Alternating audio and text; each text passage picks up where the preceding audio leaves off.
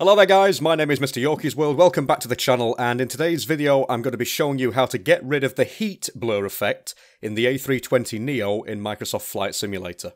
It's a nice effect, but I personally think it's a little bit overkill, uh, and when you're trying to record cinematic shots from the left wing view, it can sort of ruin the immersion a little. It's not something that I've ever really noticed when I've looked out of the window of an aircraft, and uh, if ever I have, it's not really been as noticeable as what it seems to be in the simulator. Now, before you watch this video any further, it would be helpful if you could find out where your particular installation directory for Microsoft Flight Simulator is.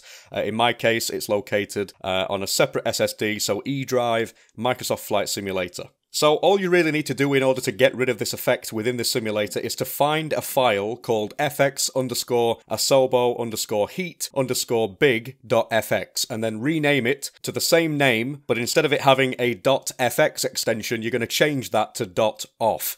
Uh, or indeed, you can make another folder within that folder and move it into there, whichever you prefer. You can just call the folder backup and move that file completely into that new directory. So the actual file is located within your Microsoft Flight Simulator directory directory. It's inside official, one store, fs-base-effects-legacy, and then effects. Now, again, this will vary depending on where you purchased uh, the simulator, whether it be on the uh, Microsoft Store or whether it be on Steam. So you need to find out your directory before you try and find this file. But basically, it's in the official folder, uh, FS Base Effects Legacy.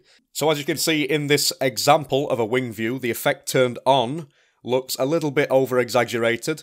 And then if we look at this, we can see the exact same wing view, but with the effect turned off. So you can see it does make quite a large difference. It's literally night and day, on or off. Unfortunately, there isn't an option at the moment, I don't think, uh, to reduce the effect to make it look a little bit more realistic and in proportion, but hopefully that will be something that Microsoft uh, will be modifying in one of the upcoming uh, sim updates to take into account uh, what sort of thrust level the engines are set at, because obviously that effect gets bigger and smaller depending on the thrust level that the engines are currently set at.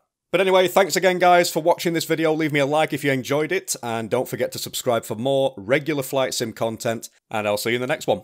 Bye for now.